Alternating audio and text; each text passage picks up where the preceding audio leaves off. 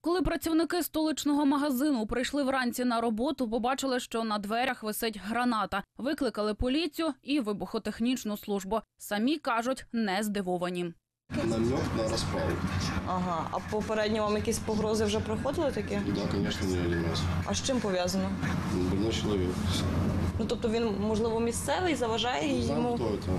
Що? Мы знаем, кто это. Підозрюють, що це колишній чоловік продавчині магазина таким чином погрожує їй і робить це ніби навіть не своїми руками, мовляв, платить хуліганам. Розповідають, в магазині вже і сокирою рубали двері, і стріляли по вікнах, і трощили товар. Нанимаются какие-то малолетки, нанимаются какие-то ребята, то есть они приезжают, делают шкоду, уезжают. То есть, ну, полиция приезжает, по факту ничего не делает. Они записали, уехали и забыли про эту тему. Разу граната була не справжня, а для страйкболу, сказали поліцейські, яких в черговий раз викликали до проблемного магазину.